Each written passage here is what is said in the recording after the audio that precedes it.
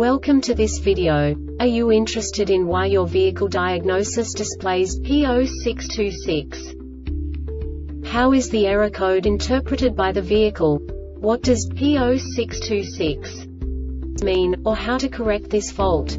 Today we will find answers to these questions together. Let's do this.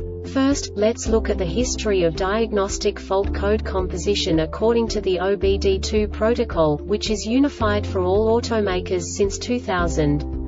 We divide the electric system of automobile into the four basic units. Powertrain, body, chassis, network. This distribution is defined in the first character code. If the second character is expressed as zero, it is a standardized error. In the case of numbers 1, 2, 3 it is a more prestigious expression of the car-specific error.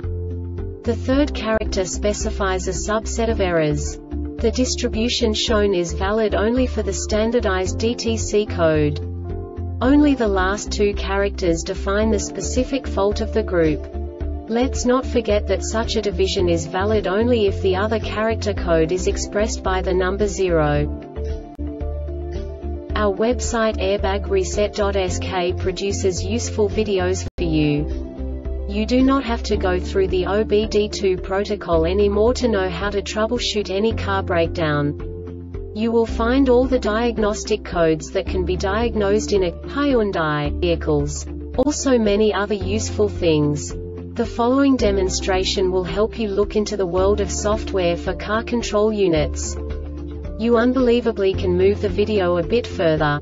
The error code is split into two bytes consisting of 16 bits.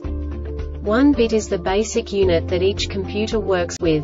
The bit has two logical states.